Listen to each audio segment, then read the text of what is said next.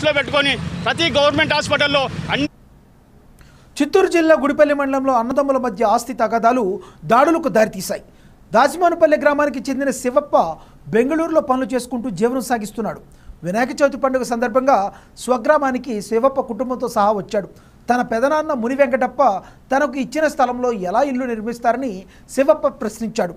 దీంతో ఆగ్రహించిన ముని వెంకటప్ప కుమారులు మురిగేష్ హరీష్ మురుగేష్ భార్య నీలమ్మలు ఒక్కసారిగా కత్తులతో దాడికి పాల్పడ్డారని శివప్ప ఆవేదన వ్యక్తం చేశారు. ఈ ఘటనలో శివప్ప తీవ్రంగా గాయపడ్డారు. ఇతన్ని హుటాహుటిన కుప్పం పీఈసీ ఆసుపత్రికి తరలించారు. పరిస్థితి విషమంగా ఉండడంతో బెంగళూరుకు తరలించారు. ఈ ఘటనపై శివప్ప భార్య సుమిత్ర గుడిపల్లి పోలీసులకు ఫిర్యాదు చేశారు. గుడిపల్లి ఎస్ఐ రామాంజనేయులు కేసు నమోదు చేసి దర్యాప్తు ప్రారంభించారు.